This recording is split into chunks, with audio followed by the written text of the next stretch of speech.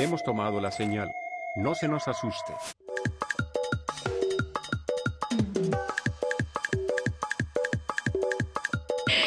Esclerosis múltiple es una condición que hoy en día está afectando muchísimo a los jóvenes, pero para platicar más al respecto del día de hoy estoy bien contenta porque me acompaña un colega en el cual compartimos eh, y estamos en sintonía. Entonces, para platicar más al respecto, se encuentra el día de hoy Marcos Romero. Marcos, ¿cómo estás? Bienvenido.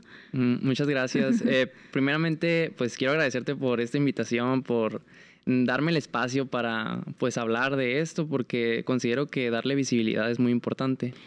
Y pues aunque ahora ya hay un poquito más como de información, pues como que todavía ahí no no se sabe bien. Así es. Marcos, eres nutriólogo, ¿verdad? Este, cuéntanos un poquito en relación a, tu carrera, en dónde estudiaste, a qué te dedicas actualmente. Ya ves que hay nutrición deportiva, hay nutrición comunitaria, clínico, etcétera. ¿Cuál es tu fuerte? Mm, Egresé de la Universidad Estatal de Sonora en el 2016. Em, después de eso hice una maestría también ahí en la misma universidad. Eh, yo me estoy enfocando, bueno, desde que salí de la carrera me empecé a enfocar a la nutrición deportiva. Aunque más que a la deportiva como tal, a la nutrición estética. O sea, a la nutrición en personas que pues buscan salud, pero también, por ejemplo, bajar su porcentaje de grasa, aumentar su masa muscular, eh, y también a personas que buscan rendimiento, tanto competitivo como puede ser recreativo, o sea, simplemente por un hobby, por su misma pasión o eh, que ellos quieran hacerlo por su propia cuenta, no porque un deporte lo, lo esté especificando o algo así. Esa es la diferencia entre nutrición deportiva y la estética. O sea, el deportivo es como más inclinado a algún atleta, algo así, y estético es más como por físico, por verte bien, mejorar tu composición corporal, ¿es correcto? Sí, así es, aunque no hay como una, una mm, definición como tal eh, que se use ya oficialmente para ese tipo de personas, pero sí es como la más cercana la nutrición estética. Es como algo que se puede decir que va enfocado a personas que quieren mejorar su estado de físico, su, por ejemplo, perder grasa, aumentar masa muscular pero que no están buscando rendimiento. Claro.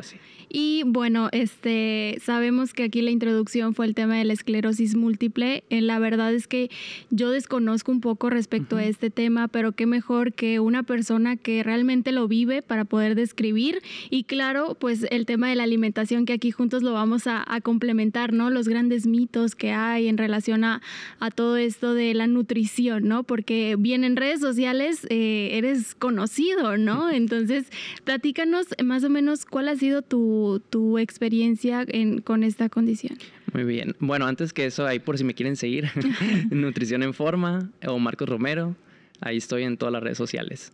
Y pues sí, mm, pues eh, si quieren saber un poco de la esclerosis múltiple, esta es una enfermedad de origen autoinmune, es una enfermedad desmilinizante, es del espectro de las enfermedades desmilinizantes, es de las más conocidas, se puede decir, pero hay algunas otras que también son de este tipo de, enfermedades.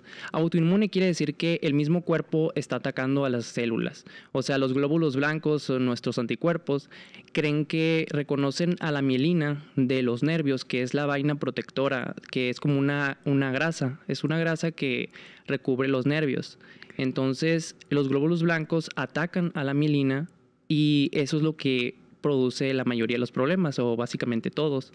Es como, mm, pues, los nervios eh, generan impulsos eléctricos desde nuestra médula espinal, desde nuestro cerebro, para procesar y, hacer los movimientos, los estímulos. Entonces, cuando la mielina está, está mm, mm, hay algún tipo de agresión, estos estímulos no se pasan correctamente. Los impulsos nerviosos son más lentos o en casos ya muy, se puede decir, muy graves, literalmente no pasan. Entonces ahí es cuando hay ya problemas de movilidad, problemas, eh, alteraciones eh, sensoriales y mm, pues la esclerosis múltiple no ataca como tal al músculo o a los nervios periféricos, que son los que están en, nuestros, en nuestras extremidades, por ejemplo, pero sí sí pasa que las personas empiezan a perder movilidad o empiezan a perder algunos tipos de sensibilidad, pero esto es porque la médula espinal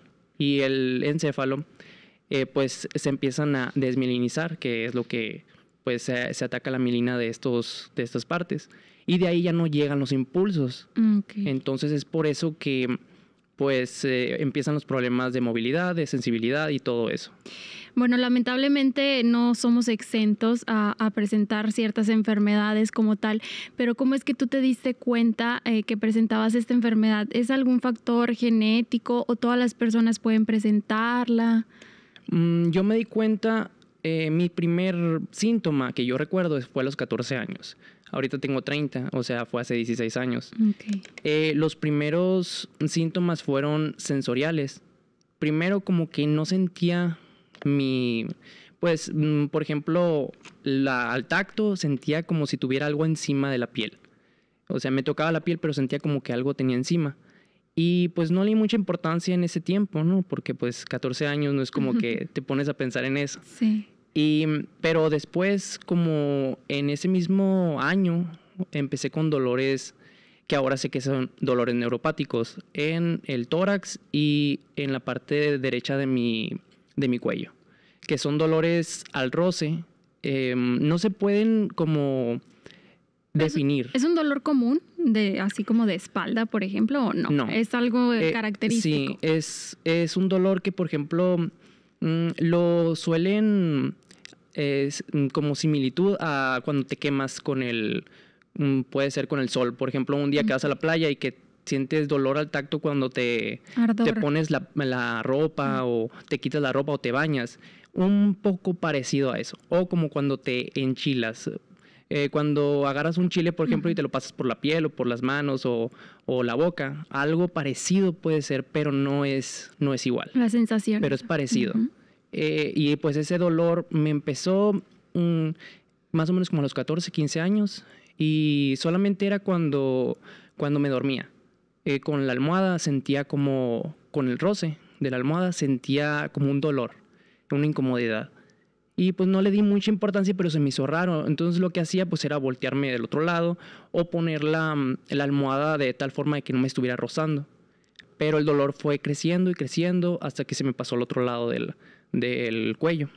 Y ahí fue cuando empecé a ir con neurólogos, a neurólogos pediatras. sí. así como que... Pero pues en ese tiempo, mm, pues no sé si era por mí que, que no, no iba, pues no le daba mucho seguimiento también, pero como que no estaba muy, muy conocida todavía la enfermedad, y menos aquí en, en México o en Hermosillo. De hecho, hoy en día tampoco es muy común mencionarla, ¿no? Desconocemos bastante de la esclerosis Sí. múltiple. Ahorita comentabas eh, ciertas afecciones que te puede dejar, pero así como en términos un poquito más coloquiales, ¿qué es lo que la esclerosis múltiple afecta? Podemos a lo mejor perder la vista, estamos hablando de nervios, ¿no? Entonces Sí. afecta directamente al sistema nervioso central. Sí, Ok.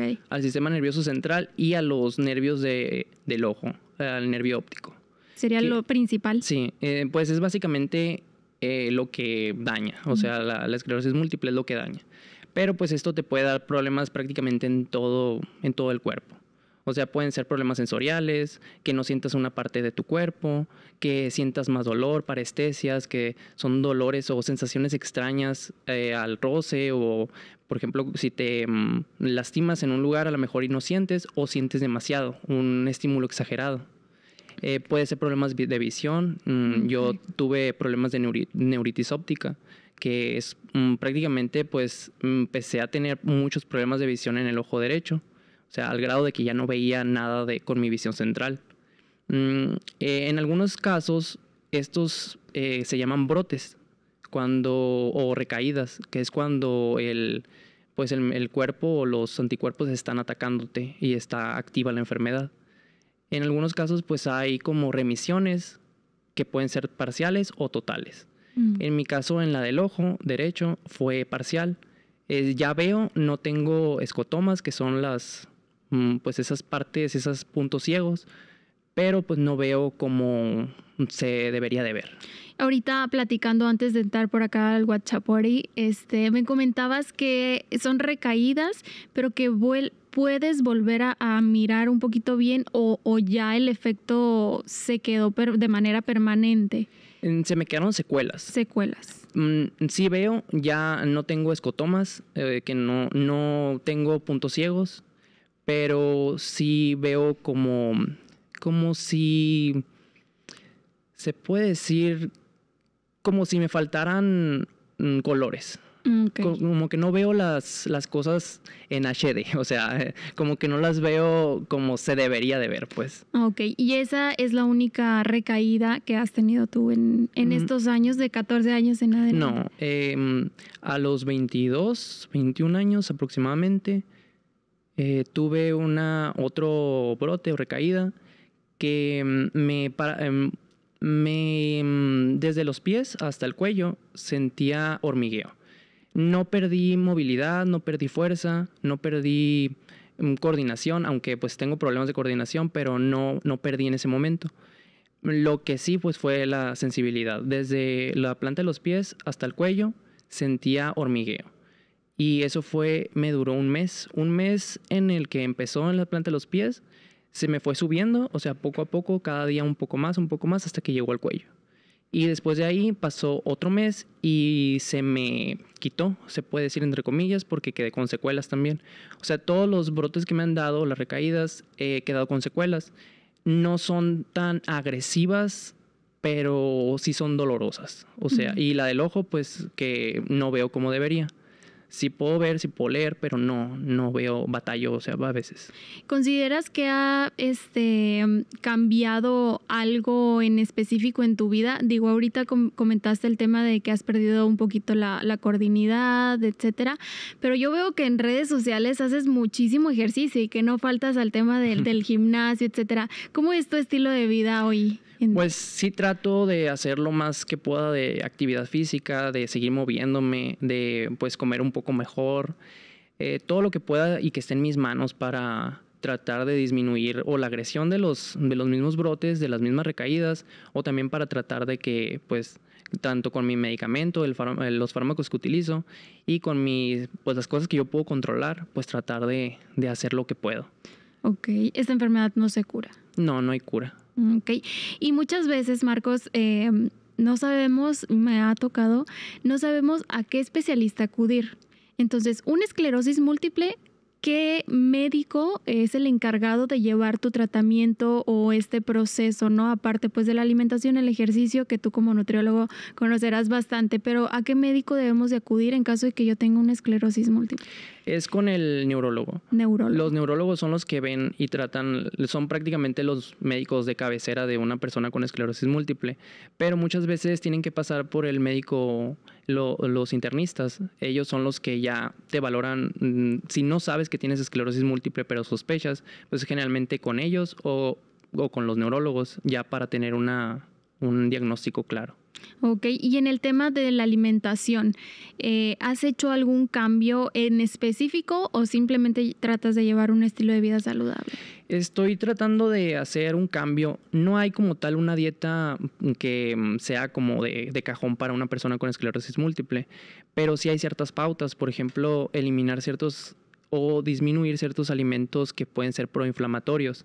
Igual no hay como una evidencia sólida de que ciertos alimentos se puedan mm, ser más como agresivos para esta enfermedad, pero sí hay cierta evidencia de que limitándolos podría ser que te ayude a, a tener una mejor calidad de vida. Estos son pues los que ya se comúnmente se conocen como, como proinflamatorios, como el gluten, los lácteos, eh, también algunos, mm, algunos tipos de, de grasas como tal, que pueden ser las grasas, los, mm, las grasas proinflamatorias. Y por el contrario, pues alguno- algunas grasas desinflamatorias como el omega 3, también eh, el, mm, algunos mm, puede ser seguir la dieta mediterránea, que es una de las dietas que se están como ahí utilizando para las personas con esclerosis múltiple y que salen, se puede decir, bien paradas en cuanto a, a las, eh, los estudios científicos que los, que, en los que se han utilizado. Pero eso no quiere decir que pues el gluten o los lácteos sean malos. O sea, porque a lo mejor y, y Se alguien... quedan con eso, Ajá, ¿no? Sí. que digan, no, es que son proinflamatorios y entonces son malos, los tenemos que quitar todos. Pues no. O sea, yo- que más quisiera, o sea, que, que no tuviera esto para pues comerlos más a gusto, ¿no? Pero mm, si no tienes alguna enfermedad autoinmune o, por ejemplo, esclerosis múltiple, pues no, ha- no siento que haya necesidad de, de eliminarlos por completo. a menos que tengas alguna intolerancia, alguna alergia o algo así. Pero ya si tienes alguna enfermedad autoinmune, posiblemente pueda ser beneficioso estar disminuyendo estos alimentos. Sí, de hecho tienen mucho que ver también, este, por ejemplo, con la tiroides de Hashimoto, que sabemos que es un problema autoinmune, el gluten, los lácteos y estos pues se tienen que disminuir. Pero luego satanizamos a los alimentos, que ahorita vamos a platicar acerca de eso, de algunos mitos y todo esto que se le conoce con los tipos de dieta.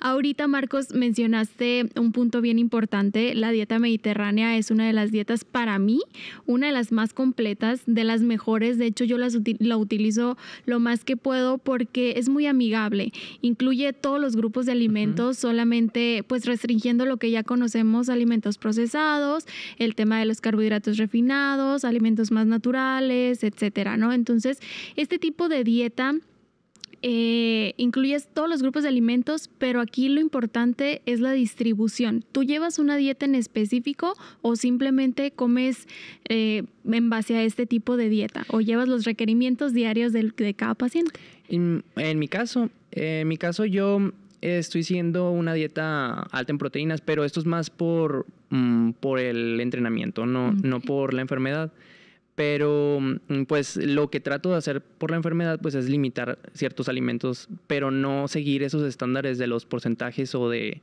o, así como tal una dieta mediterránea como tal. Eh, pero sí trato de, de eliminar alimentos o disminuirlos y pues la dieta que sigo es prácticamente hiperproteica. Mm, trato de comer lo más saludable posible, pero pues... Una mm, que otra vez un hot dog, por ahí unos taquitos. Tratar de minimizar lo más posible todos los procesados, ultraprocesados, pero sí, pues no, se puede, ¿no? Marcos, ¿y qué onda con el fin de semana? ¿El alcohol lo puedes consumir o ese sí tratas de evitarlo por completo? Mm, sí lo puedo consumir, pero no tomo. Eh, ya tengo mucho tiempo sin tomar alcohol. Mm, es muy, muy raro que llegue a tomar algo de, alcohol. Eh, no porque no pueda, no porque no me guste, simplemente porque no, mm, pues no lo, no se me ha dado, pues, de que, de estar tomando, ¿no? Ajá. Y si es algo, pues no, no es como que está en mis, eh, en mis pensamientos de tomar. No porque lo satanice o algo así, no, no. Simplemente porque no, no se da. Pues y mejor para mí, pues es como no siento esa necesidad, pues mejor porque no es como que afecte a la esclerosis múltiple. De hecho, el cigarro podría ser peor. Pero mm, de todas maneras, pues trato de, de, limitar lo más que pueda las cosas que me puedan hacer algún daño, ¿no? Claro, y es que como dicen por ahí, uno llega a una edad donde ya la verdad, o sea, la etapa de tu vida a, los 30 años, bueno, particularmente yo tengo 26, pero ya llegué a esa edad donde el fin de semana mejor lo aprovechas para organizar tu semana, para hacer pendientes, salir, tomarte un cafecito, descansar, la verdad es que es la oportunidad porque uno trabaja de lunes a viernes y es lo que uno quiere, ¿no?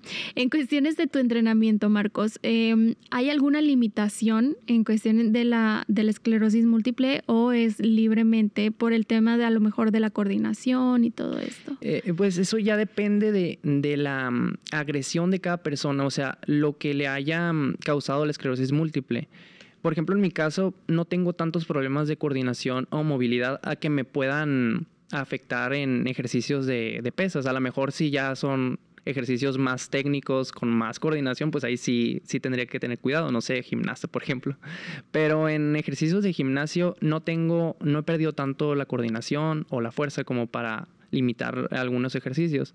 Hay personas que sí, desgraciadamente, pues ya tienen una agresión más, más fuerte y que tienen problemas de que se tambalean o que tienen menos fuerza en una parte, en una extremidad que en otra, no pueden caminar bien y, por ejemplo, ahí sí se debería de cuidar más sentadillas o algún ejercicio compuesto o básico, que son los que en donde mueves más peso y que tienen más, más riesgo de lesión. Pero en mi caso particular, pues no, no es como que limito alguno. Lo que sí es que también tengo hernias, o sea, posiblemente yo, aunque no me lo han dicho como tal de manera oficial, mm, yo pienso que las hernias han sido por lo mismo de la debilidad que tengo en, mis zonas desmielinizantes, o sea, las zonas que se desmielinizaron, ahí tengo menos um, fuerza, coordinación, entonces posiblemente pueda ser que Ajá, que ese, esa disminución de la fuerza me hizo acreedor de las hernias. Y por ello es que sí limito algunos ejercicios que principalmente son para arriba de la cabeza, como press militar o ejercicios así. Y también todos los trato de hacer con la mejor técnica posible, porque hay veces que mm, si llego a mm, moverme mal eh, y estoy en un momento que tengo mucha rigidez, porque eso es otro de los, de los síntomas de la esclerosis múltiple. Mm, si tengo mucha rigidez, puede ser que me lastime y ya quedo fuera por una o dos semanas que no puedo mover el cuello. Eh, principalmente es en esa zona, es donde tengo más, más hernias y tengo más debilidad en el trapecio y pues entonces tengo que cuidar mucho eso. Claro, la posición y todo, pero ese, el, el lastimarte es mm, sin saber, o tú sientes cuando, uy, a lo mejor sí lo sientes. Sí, se, siente un, siento un tirón. En el momento es muy curioso porque siento, no siento dolor en el momento, pero ya sé que me lastimé. Mm. Y termino el ejercicio y trato de moverme hacia un lado y ya no puedo. O sea, lo trato de mover el cuello hacia un lado y me duele, o sea, mucha rigidez.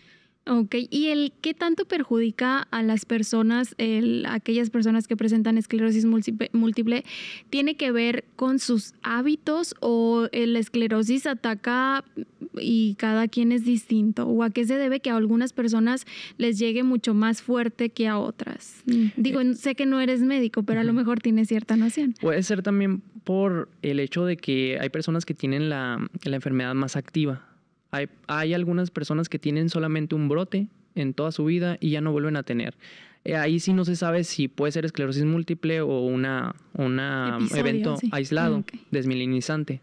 Pero hay personas con esclerosis múltiple que no tienen recaídas en muchísimo tiempo. Y hay otras que tienen recaídas muy constante. Y hay personas que sus recaídas son muy agresivas. Y hay personas que sus recaídas son muy, muy, muy constantes, pero no tan agresivas. Esto puede ser también por lo mismo del sistema inmune que hay personas que lo tienen más activo que otras. De hecho, lo que hacen los tratamientos es disminuir el sistema inmune de la persona, lo suprime en cierta medida. Y por eso es que disminuyen los brotes. Mm, hay personas que lo tienen muy activo y muy agresivo y que mm, pues un brote pues prácticamente los puede dejar en, en, la cama, o sea, no se pueden mover, algunos se recuperan un poco, pero vuelven a caer otra vez y así es por eso se le llama esclerosis múltiple remitente recurrente, que remite, pero vuelve a, tener una agresión y luego remite otra vez y otra agresión y remite, pero en cada remisión se queda con secuelas.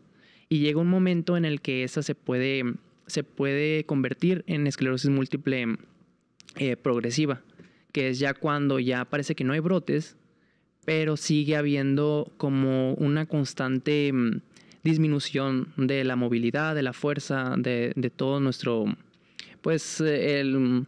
El sistema nervioso. el sistema nervioso, sí. Oye, Marcos, eh, se me hace bien importante ahorita también, antes de entrar a Guachapora y platicábamos de esta bacteria que me comentabas que realmente todos tenemos. Te preguntaba si era de manera genética o a qué se debía que muchas personas lo desarrollaban, pero se me hace importante mencionarlo. Em, esta bacteria con un nombre en específico que vive en, el ambiente, que realmente esto es por, por el ambiente que, que, eh, nos rodea. Es el, virus que, mm, que provoca la mononucleosis infecciosa. Eh, que generalmente se da cuando eres niño pequeño y que casi todas las personas lo tienen, o sea, tienen, mm, tienen anticuerpos para este virus, o sea, que en algún momento de la vida les dio. Em, últimamente ha habido algunos estudios donde mm, a largo plazo que se vio que las personas que tienen eh, este virus, bueno, que han tenido contacto con este virus, tienen más posibilidades de, de enfermarse de esclerosis múltiple. Y que de hecho puede ser incluso que que una persona que no ha tenido contacto con el virus no tiene ninguna probabilidad de enfermarse de esclerosis múltiple, pero una persona que sí se tuvo contacto tiene probabilidades de, enfermarse de esclerosis múltiple. O sea que prácticamente las personas que tenemos esclerosis múltiple sí vamos a dar positivo para ese, ese virus. Eh, lo que aquí pues es muy importante puntualizar que no porque tengas positivo, que salgas positivo para este virus o que lo hayas tenido o que lo tengas en algún momento quiere decir que vas a tener esclerosis múltiple, porque prácticamente todos tienen este, todos han tenido este virus en algún momento de su vida. Lo que pasa que a lo mejor hay ahí condiciones genéticas que mm, todavía, sí, que no se sabe todavía qué es exactamente es, pero que detonan que a partir de que ese virus entró en, en el sistema de esa persona, se detone la esclerosis múltiple.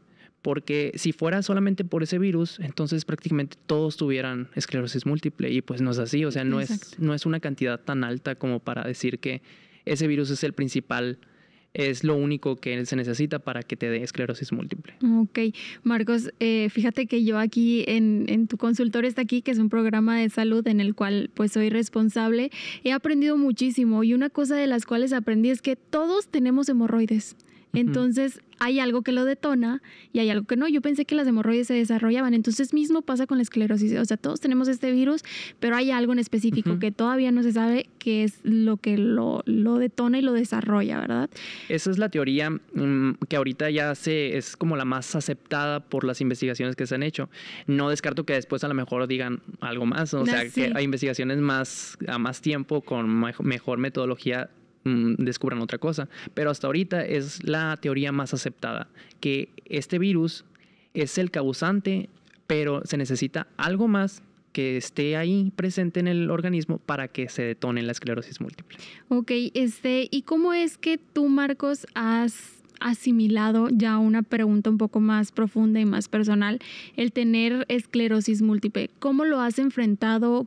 ¿Cuáles han sido tus retos para ti en, desde los 14 años que me mencionabas para acá? Mira, te voy a decir algo que em, es, muy, es muy curioso que cuando a mí me dieron el diagnóstico, que fue hasta los 20, bueno, el 2018, 2018 hace ya casi pues fue el 2018 a finales, o sea, 19, 20, 21, 22, cuatro años, hace cuatro años. Eh, vamos para el, quinto, ¿no? Y mm, cuando yo supe que tenía eso, que tenía esclerosis múltiple ya diagnosticada, pues las personas que se enteraron me preguntaban de que, ¿cómo te sientes? O sea, mm, es un shock para ti, me imagino, mm, no sé qué decirte, em, te entiendo si te sientes mal, así. Y yo, la verdad es que eh, a todos pues les decía lo mismo, me siento liberado, porque me siento como que ya descansé. Porque mm, yo ya tenía desde los 14 años, o sea, así. Buscando. Buscando qué tenía, qué me estaba pasando. Mucho cansancio, porque el cansancio es uno de los, de los síntomas que se puede decir más, menos, mm, mejor, menos trágico, menos, uh, más benigno, ¿no? El cansancio, pero siempre, siempre sufrí de mucho cansancio. Es cansancio excesivo, no es un cansancio normal de cuando te desvelas un día y, te sientes cansado, no, es algo más fuerte. Mm, dolores de cabeza muy intensos, eh, lo que te dije de, pues, mm, problemas de la visión, problemas sensoriales. Y yo no sabía qué era. O no entendías qué estaba pasando. Sí, los neurólogos que me vieron, pues me dijeron que tenía una enfermedad autoinmune, pero hasta ahí no, había, no me habían dado un diagnóstico como tal. Y mm, pues eh, si yo le decía a alguien es que me siento cansado, es que me duele mucho la cabeza, es que mm, eso, como que no entendían, pues, o sea, ay, siempre, siempre tienes algo tú, o sea, lo típico, ¿no? Y mm, o también de que, ay, es puro estrés, o es que eres, te estresas mucho, te enojas mucho, ajá, descansa, eh, se te va a quitar, deja de pensar en eso, no sé.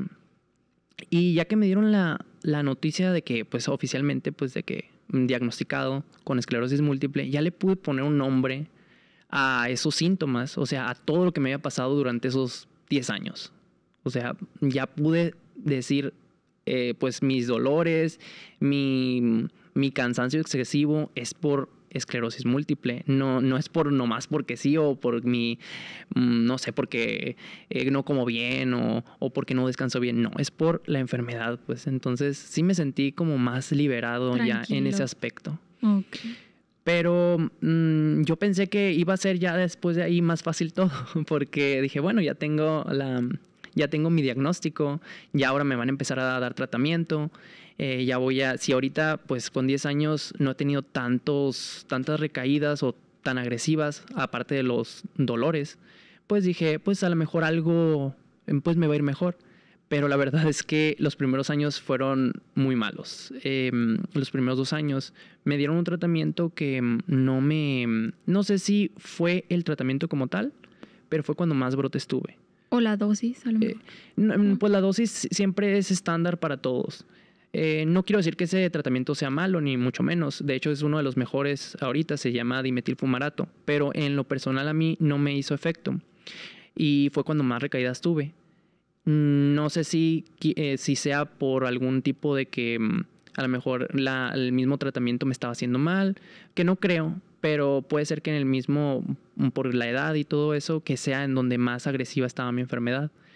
Y mm, pues como no me sirvió, ya me, me cambiaron a otro, que se llaman tratamientos de alta eficacia, que suprimen más el, el sistema inmune, pero mm, pues te ayudan a que tengas menos brotes, que esté más controlada la enfermedad. Y pues así fue como mm, ya ahorita se puede decir que estoy un poco más estable, más mm, pues menos recaídas, que no puedo decir que no he tenido ninguna, pero sí más estable que cuando tenía la primera el primer fármaco. Aquí te refieres con que en esos dos años eh, fueron muy complicados, tuviste muchas recaídas, sí. sí. Sí, principalmente en los ojos, o sea, tuve otra vez neuritis óptica, ya no tan agresiva, pero lo tuve en el otro ojo. Eh, me empecé a ver borroso, o sea, como que me empezó, pero no al grado de que tuve mm, eh, problemas ya de mm, puntos ciegos. Mm, y luego me pasó otra vez en el ojo derecho y luego otra vez en el ojo izquierdo. Y así fueron como cuatro veces en esos dos años. Que sí eh, perdí cierta como tonalidad de los colores, pero no hasta el punto de ver, de tener puntos ciegos. Y pues no solamente era eso, sino que cada vez que me daba un, brote o una recaída, tenía que ir al hospital a que me pusieran, se le dicen bolos, que son de metilprednisolona, es un corticosteroide que se utiliza para disminuir la inflamación. Y esos me los ponen en, el hospital, en la vena, o sea, son como dos, tres horas por día y son cinco días en total. Y mm, pues como son a grandes dosis, pues los efectos secundarios pues son la parte de la hinchazón, el cansancio, más cansancio, dolor articular, eh, como que más problemas, más mm, em, se aumenta el riesgo de lesión también porque pues por el dolor articular, muscular y todo eso. Y pues fueron muy seguidas, o sea, fueron bastantes veces que me pusieron en esos dos años. Y mm, por eso digo que esos dos años fueron más duros, sí, más complicados. me tenían que hacer resonancias, que unas duraron hasta seis horas, o sea, una resonancia, no sé, pues si la gente que nos llega a escuchar o ver que ha tenido experiencia en una resonancia, pero es una prácticamente una, un tubito que te meten ahí. Sí. Y tienes que estar quieto totalmente y mm, o en unas de 3 a 5 o 6 horas tuve que estar. Sí, porque normalmente una resonancia me parece ser que es una hora, 40 minutos, dependiendo, ¿no? Sí, las, las que son para cerebro mm, o pues en una parte de la columna, por ejemplo, pues son de una hora, 30 minutos algunas, pero como a mí me tienen que hacer desde, desde el cerebro, desde todo el encéfalo hasta la médula, hasta mm, todo, todo el, mm, pues todo el sistema nervioso central, ¿no? Y pues ahí tarda 4 horas, 5 horas y en eso a veces me, me movía por el, por el mismo, los mismos espasmos o algo así y me tenían que volver a... A, comenzar. Eh, a, comenzar el segmento, pues. Em, el sistema nervioso central, eh, según yo, va desde la cabeza hasta los pies, pero ahorita mencionaste que pararon en, algún, en alguna parte o era todo el cuerpo. Es en la médula. En la médula, ok. Eh, toda la médula y el, y el encéfalo. Y también ahorita mencionaste el tema de cansancio y todo eso, del que eran los factores más mínimos, ¿no? De, de que tú presentabas. ¿Eso en alguna ocasión afectó tu desarrollo en cuestiones de la escuela, que estabas en la universidad, en prepa? ¿Impactó eh, esa, en esa etapa o no? Mm, yo digo que sí porque mm, aunque yo en ese momento pues no sabía que tenía esclerosis múltiple, pero sí, sí mucho cansancio, eh, pues hacía lo que debía de hacer porque debía de hacerlo, pero sí me limitó mucho, yo digo que por ejemplo, pues en lo social, en, también en la misma escuela, o sea, afortunadamente pues mm, sí sí saqué, sí, sí sacaba buenas calificaciones. No quiero decir que por eso, pues, ya de que, de que me dormía en las clases o algo así. Pero, mm, mm, pero sí siento que para retener información me costaba mucho más que a una persona que no tuviera esclerosis múltiple. Como que a veces sí sentía esa como neblina mental Em, que no me dejaba, estaba escuchando a, por ejemplo, al docente y, o tratando de leer algo de, de la escuela y no podía concentrarme. aunque lo estuviera leyendo, leyendo y leyendo, no podía concentrarme. Pero había otras veces en las que parecía que lo hacía la primera, pues. Y pum, el doble. Sí, así, y pero eran menos veces, o sea, de 10 veces que no podía, una vez sí. Y era complicado porque a veces, pues, eh, si estaba estudiando para algo que tenía que hacer una exposición, un examen, lo que sea, si estaba en un momento bueno, o sea, en un ratito lo podía sacar, ¿no? Pero si no, sí me costaba, me costaba muchísimo. Fíjate, te veo en redes sociales y para mí me impresiona muchísimo porque redes sociales tienen un alcance muy grande, tú tienes un alcance muy grande por ahí en redes sociales y la información que tú compartes es sumamente valiosa y sobre todo que, que compaginamos, ¿no? Las ideas en cuestiones de nutrición y todo esto. Vámonos ahora al área de la nutrición. Eh, en el tema del sistema inmunológico, ¿hay algunos alimentos que lo activan más que otros? Mm, hasta donde yo sé, em, no, no hay como tal, bueno, por lo menos en la esclerosis múltiple, eh, que, mm, que, se haya demostrado como tal que, mm, que afecte o que active más eh, en manera negativa, ¿no? Pero sí hay algunos suplementos que mm, activan más el sistema inmune, aunque es curioso, por ejemplo, mm, en el caso de la vitamina D, mm, que es una, sí, es una vitamina que ayuda a que aumente el sistema inmune. Eh, y una persona que lo tiene deficiente, que tiene deficiencia de vitamina D, puede tener problemas de inmunidad. Y de manera teórica, eh, una, algo que aumente el sistema inmune es malo para la esclerosis múltiple pero se ha visto que mm, la vitamina D puede ser como un factor de protección y que la mayoría de las personas con esclerosis múltiple tienden a tener bajos niveles de vitamina D y si estos están altos, las recaídas son menores o que mm, tienen más probabilidades de mejor pronóstico. Órale. Y es curioso ahí porque, mm, pues, si, si algo aumenta el sistema inmune y los eh, los tratamientos que son para la esclerosis múltiple son para suprimir el sistema inmune, entonces como que debería de ser mala la vitamina D, pero se ve que de hecho niveles eh, normales altos dan mejor pronóstico en una persona con esclerosis múltiple que personas que lo tienen bajo. Y yo lo tenía muy bajo tenía 13 de, me salió muy bajo, muy bajo. La... Y aproximadamente se dice que, bueno, 30 es suficiente, pero lo ideal sería unos 40, 50, ¿no? Y en personas con esclerosis múltiple puede ser hasta un poco más. Eh, en lo que se ha visto, pues, Mm, de que mejor pronóstico.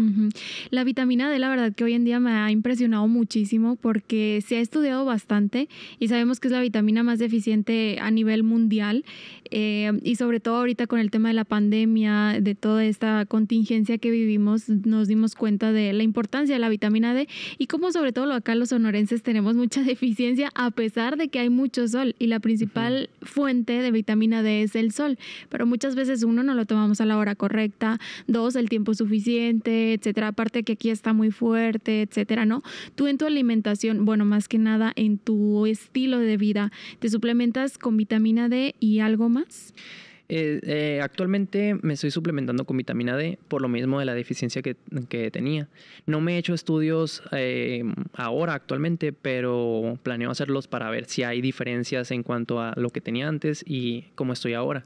Aparte de ello, sí estoy tomando otros suplementos que mm, como que hay ahí una, un efecto benéfico o posible efecto benéfico, que son el acetil L-carnitina, que no es la L-carnitina como tal, tiene un grupo acetilo que ayuda a que se pueda mm, introducir eh, por la barrera hematoencefálica y que mm, pues puede ir directamente al, al encéfalo, al cerebro. Y aparte de eso estoy consumiendo también ácido alfa-lipoico y ¿Qué más? El ácido alfa-lipoico me ayuda a disminuir, bueno, yo lo conozco por el tema de disminuir el azúcar en sangre. Eh, mm, puede ayudar, sí, ajá, sí puede ayudar, pero en mi caso es más para los eh, como protector, ya que es como antioxidante. Y taurina también, que también se ha visto que la taurina ayuda a los, a los nervios, o sea, ayuda a la regeneración de los nervios, que si bien eh, lo más seguro es que no me haga un efecto muy notorio, pues como que estoy tratando de ver qué es lo que puede ayudarme un poco más en cuanto a suplementación. Y creo que el omega 3 también habías Ah, sí, mencionado, sí, ¿verdad? omega Era- 3 también. Ajá, era uno de los que... Sí. Y muchas veces también le tenemos mucho miedo, este Marcos, dentro de estos mitos de, de la alimentación y de la nutrición, le tenemos miedo a la suplementación. ¿Tú qué opinas al respecto ya como nutriólogo en tu área profesional eh, acerca del consumo de estos productos? Es que el problema de los suplementos es que no están bien regulados. Si los fármacos, ya no sé si te ha tocado que a veces sale, mm, por ejemplo, mm, eh, mm, Cofepris sale anunciando que algunos lotes estuvieron malos o que hubo falsificaciones. Ahora en suplementos, el problema, yo creo que el problema principal es eso, que no están bien regulados en la mayoría de los casos y que no hay como, como un seguimiento tan a fondo.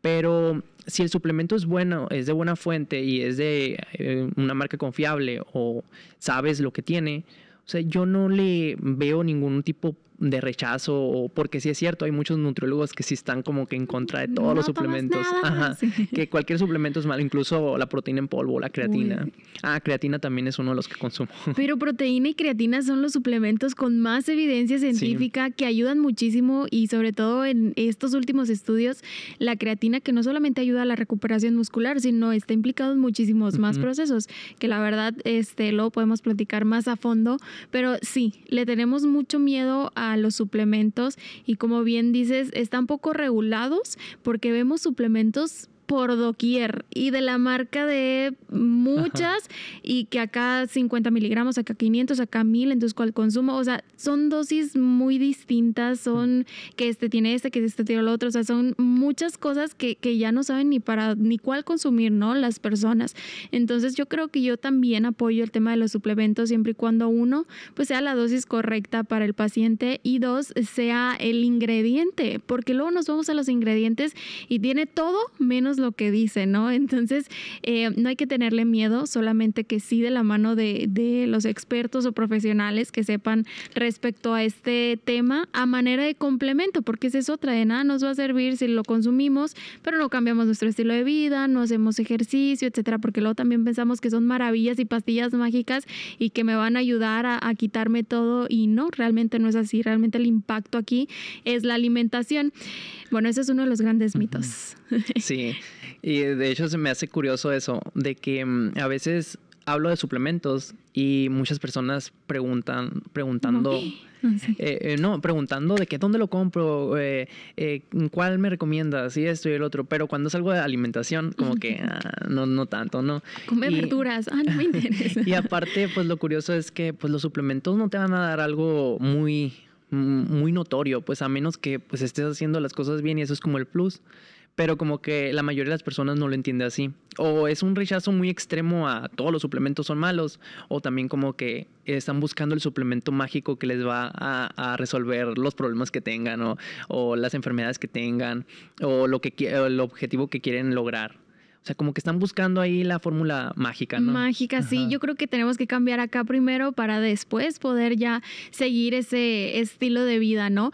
Bueno, ahorita comentabas el tema del gluten y los lácteos. Vámonos ahora con ese tema, que es otro de los eh, alimentos o más bien grupos, mejor dicho, que satanizamos. Le tenemos mucho miedo que la leche es mala, que el gluten es malo. De hecho, a manera personal, como una anécdota, te cuento, llegó un paciente y me dijo, no, no me pongas leche porque es malo. Y no, no, el gluten no, no es malo. Y yo, bueno, eh, espérame, ¿no? O sea, déjame y te digo mis recomendaciones y ahorita vamos eh, afilando un poquito de detalles, ¿no? Entonces, eh, tenemos tanta información, tanto en, en redes sociales como en, en las plataformas de, de la tecnología, que no sabemos ni para dónde irnos, ¿no? Entonces, eh, ¿a, qué ¿a qué personas tú les recomendarías el consumo de gluten, lácteos sin ningún problema y a quiénes no? Porque ese es otra también el tema. Intolerante a la lactosa, sí. Entonces, todos somos intolerantes a la lactosa, ¿no? Que me cae pesado, etcétera, ¿no? Entonces, ¿a qué personas tú considerarías que sí pueden consumir lácteos o gluten y qué otras personas no? Mm, en así de como recomendación general, mm, pues las personas que no tengan ninguna intolerancia o alergia que los, que los consuman, ¿no? Pero sí, sí recomiendo a veces que hagan la prueba, o sea, pero que sean objetivos y que hagan la prueba de si creen que les hace mal, o sea, que solamente quiten ese, ese alimento, porque pasa que, ay, dicen, eh, es que el gluten me cae mal, pero, ¿y cómo sabes? Es que lo quité, pero muchas veces no nomás quitan el gluten, quitan muchos alimentos ultraprocesados y pues a lo mejor es eso lo que les hizo bien, no quitar el gluten como tal. O también los lácteos, dicen, ah, es que me hace mal eh, los lácteos, pero ¿por qué? No, pues que me cae pesado o, o, me han dicho que es malo y ya como que tienen esa idea predispuesta a que les va a hacer, a hacer daño. Pero mm, de manera general yo digo pues que mm, la mayoría de la gente si están sanas, si no tienen alguna enfermedad autoinmune, los pueden consumir bien.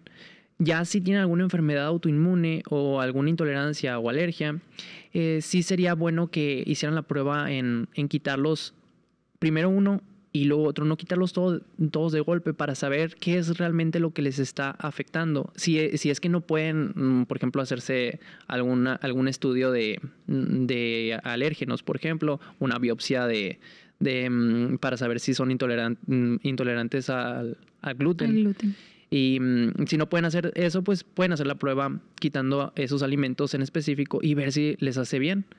Eh, pero mm, yo siempre he dicho pues de que si no tienes alguna intolerancia o alguna alergia o, o estás enfermo como tal, pues disfrútalos. Sí, o sea, qué, mejor que disfrutarlos, ¿no? Y sobre todo balanceados, porque realmente yo sí he hecho la prueba. El tema, por ejemplo, de los lácteos, a veces me inflamo y que ahorita nos vamos a ir al tema de la microbiota intestinal también.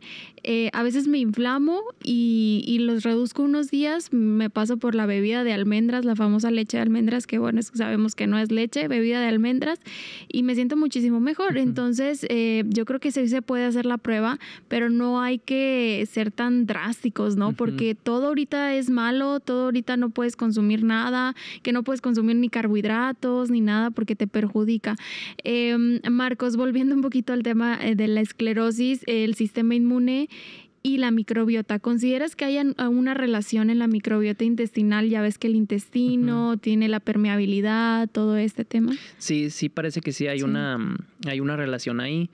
Eh, Mm, aquí sí no te voy a mentir, no estoy muy familiarizado con, con la microbiota como tal, pero sí he visto que hay relación y que mm, la microbiota de una persona con esclerosis múltiple no es, no es igual a la de una persona sana y que de hecho hay ciertas enfermedades autoinmunes que presentan eh, ciertas características diferentes a las de una persona sana en cuanto a la microbiota.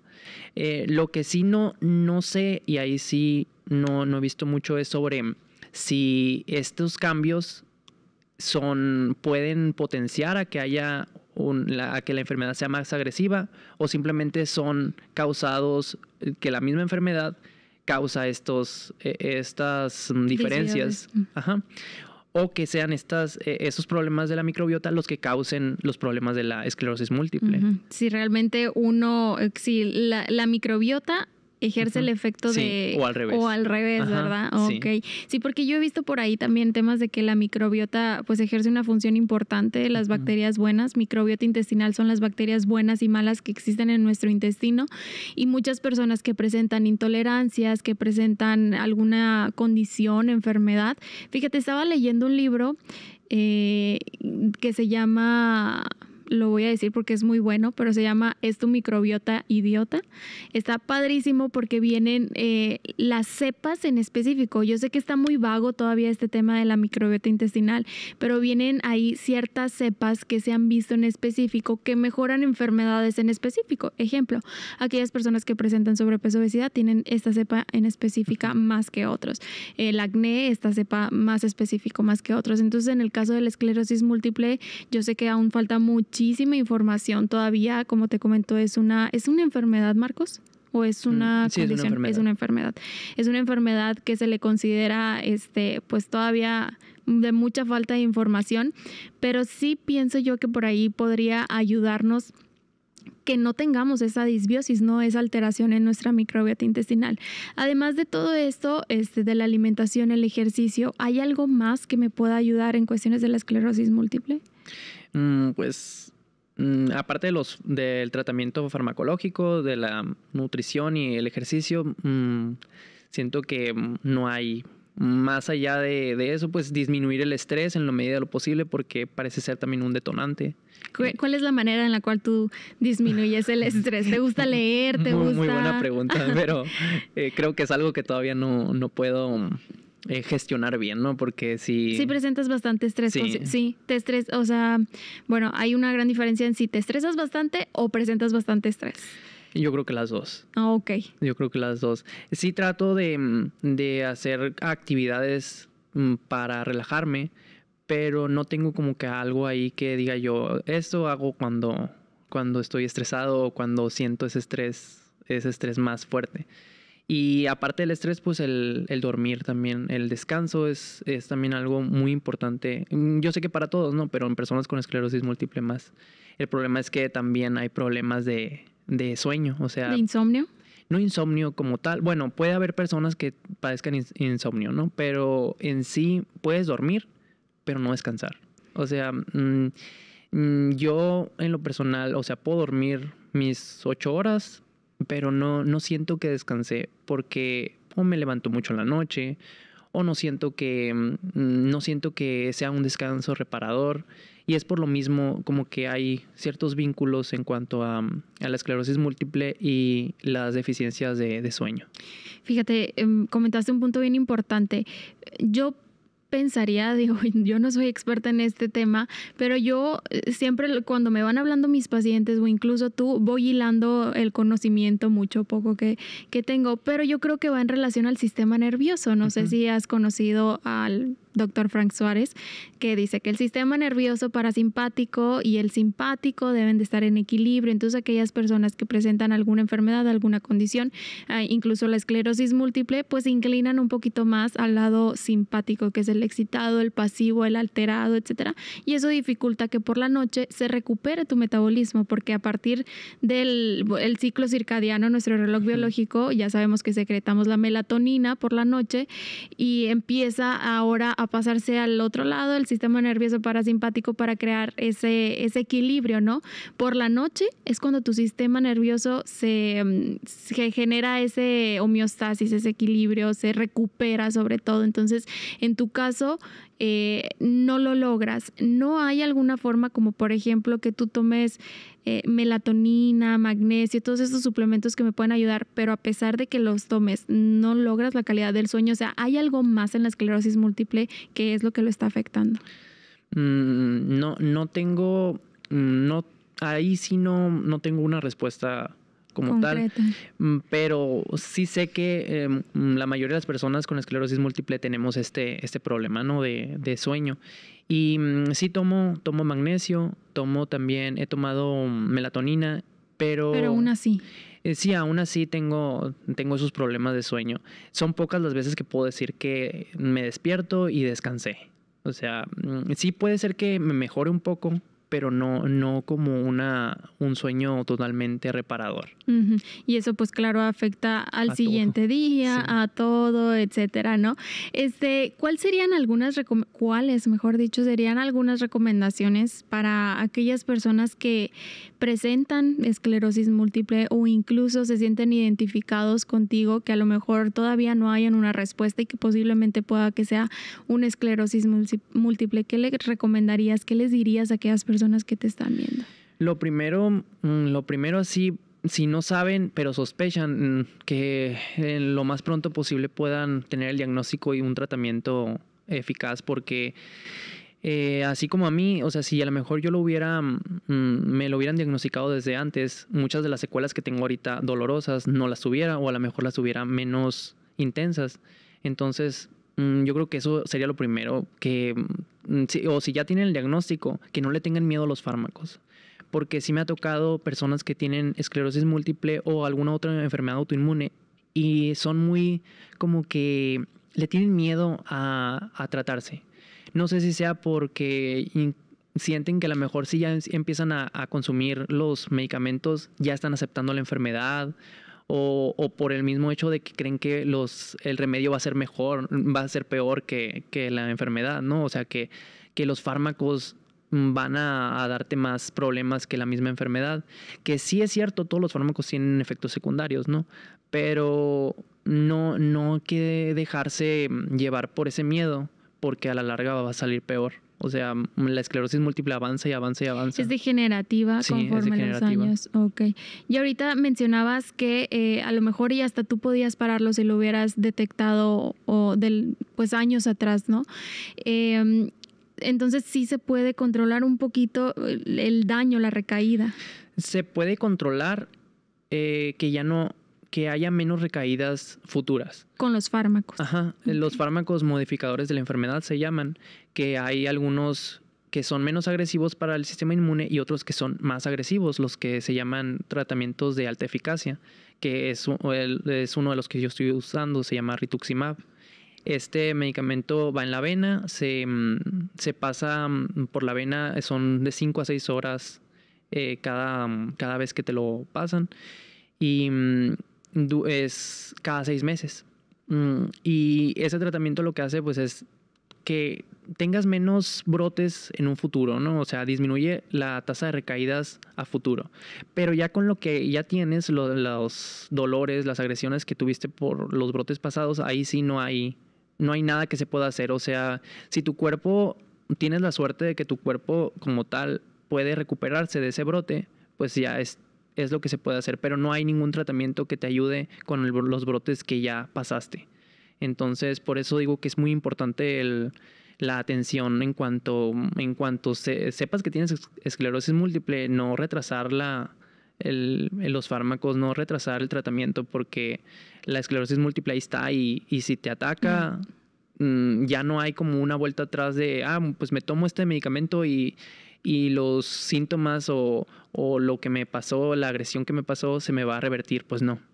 ¿El tratamiento solamente es cada seis meses o tú realmente el tratamiento es diario con pastillas? Eh, no, el mío es que hay algunos que son en, en cápsulas, como el que estaba tomando al principio, que sí son diarios. Es uno, eh, uno o dos, uno por la mañana, otro por la noche. En el caso del, del que estaba tomando yo, hay otros que son inyectados vía subcutánea, que se inyectan cada tercer día.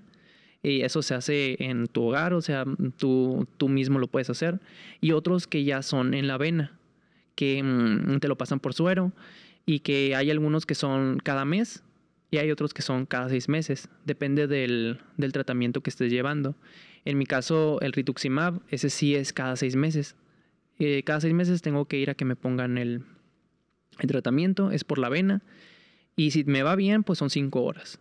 Si no, la primera vez me tardé más de 13 horas eh, en el hospital que me pusieran el tratamiento. Estuve desde las 8 de la mañana y salí a las 12 o 1 m. Y eso fue por a lo mejor... Mm, Es que como fue el primer, eh, la primera vez que me ponían ese tratamiento, donde generalmente puede provocar reacción alérgica. De hecho, antes de que me pongan el tratamiento, me ponen una premedicación que viene siendo eh, dexametasona, eh, un- unos corticosteroides que son para disminuir esa, mm, esa posibilidad de, de alergia. Pero la primera vez, generalmente con el rituximab y otros similares, tienes como que una probabilidad muy alta de que te dé alergia. Y mm, en mi caso, pues me empecé a, mm, me, me dio rash, así erupciones en, en la piel, y me lo tuvieron que disminuir, pasar más lento. Y me lo tuvieron que quitar un tiempo para pasarme más corticosteroides y luego volvérmelo a poner. Y en todo ese tiempo, o sea, tardé todo el día para que me pasara el, el medicamento. Y mm, tenía que volver otra vez a los 15 días para que me hicieran otra vez, me pusieran otra vez el tratamiento. Y esa vez no me lo pudieron poner porque me, me, me causó más, más eh, efectos negativos, o sea, en el momento de la aplicación. No, no, no quiero decir con esto para asustar a la gente, ¿no? Porque es capaz de que ah, si alguien que tiene esclerosis múltiple se lo van a poner, pues que tenga miedo al, a, la, a que le pueda dar un shock o algo así.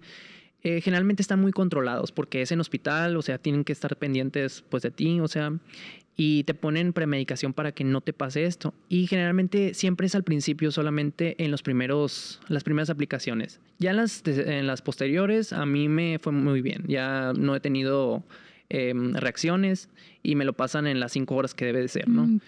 Y mm, cada seis meses me lo están poniendo. Marco, se nos acabó el tiempo, pero te agradezco enormemente el abrirte conmigo, con Guachapori, con todas las personas que nos están viendo, eh, pues con esta enfermedad que lamentablemente eh, pues ataca, ¿no? Ataca nuestro cuerpo, nuestro sistema nervioso. Eh, ¿Algo más que quisieras agregar ya para finalizar? Mm, pues agradecerte mucho porque la verdad es la primera vez que vengo a un, a un podcast así, o sea, y pues me, me gustó mucho la, la, experiencia. No, al contrario, muchísimas gracias Marco. Nos vemos en un Guachapori más.